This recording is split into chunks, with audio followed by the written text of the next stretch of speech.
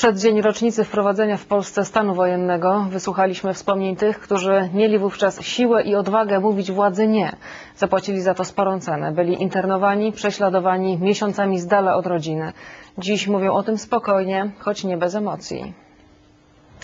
Wracają wspomnienia, a w nich wraca też strach.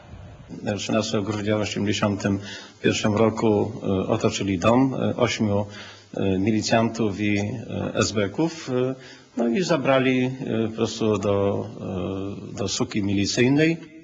Mieczysław Walczykiewicz w grudniu 81 roku zostawił w domu żonę i niepełnosprawne dziecko. Trafił do aresztu śledczego w Ostrowie Wielkopolskim. Wtedy ośrodka odosobnienia. On tutaj funkcjonował gdzieś około dwóch miesięcy. E, Potem przewożono tych ludzi do innych ośrodków. Z Ostrowa na przykład przewożono do Głogowa e, i w okolice e, zachodniej Polski. Areszty i więzienia to miejsca, które najsilniej wpisały się w pamięć internowanych. Dziś w Kaliskim Zakładzie Karnym wspomnienia tamtych lat odżyły na nowo dzięki książce.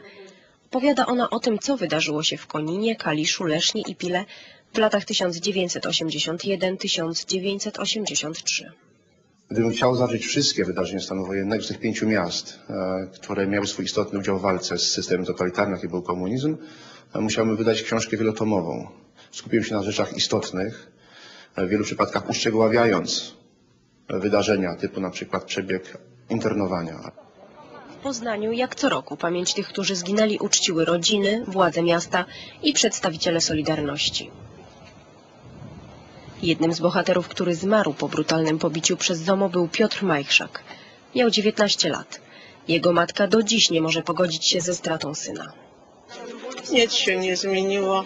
Ja mam, mamy ten sam ból, cała rodzina na tym cierpi. Wszyscy i synowie następnie, Radosław, Jarosław i Łukasz, który się urodził. Dalszym ciągu jesteśmy zalęknieni, boimy się.